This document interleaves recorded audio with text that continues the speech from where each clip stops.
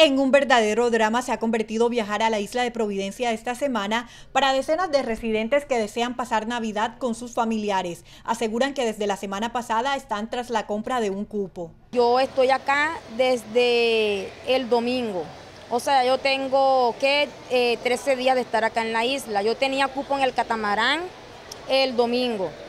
Y resulta y pasa que cuando ya estábamos ahí en el catamarán nos dijeron que la Capitanía de Puerto no dio permiso de que el barco saliera por motivos de mal tiempo. Entonces, pues desde ahí hemos vivido un carvario pues aquí en el aeropuerto, hemos estado viniendo desde el domingo, lunes, toda, toda esta semana hemos estado viniendo inclusive hasta hoy miércoles y nada Desde el domingo buscando un cupo acá, pero vine con cupo del catamarán, no está saliendo. Entonces llevamos días acá, pero toda la gente que se va para Providencia son turistas. Todos los días tengo que cancelar.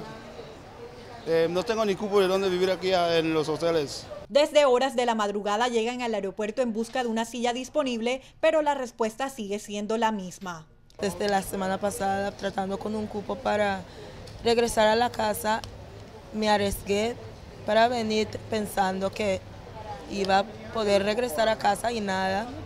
Estoy desde esta mañana acá afuera y nada, no hay cupo. El desespero de los viajeros ha hecho que se plantee como alternativa un vuelo charter, pero pagando un alto precio por un solo tiquete. 300 mil pesos no es justo, porque ellos van con pasajeros y regresan con pasajeros. Eso no es justo.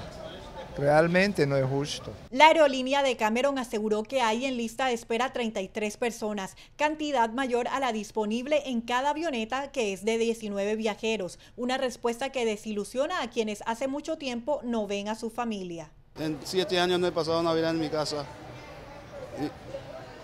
¿Qué hago? No, nadie da soluciones, las aerolíneas no dan soluciones, nadie da eh, solución. No les interesa. Ante esta falta de cupos, la Fuerza Aérea ha dispuesto sus aviones para transportar a algunos pasajeros de manera prioritaria como adultos mayores, mujeres y niños.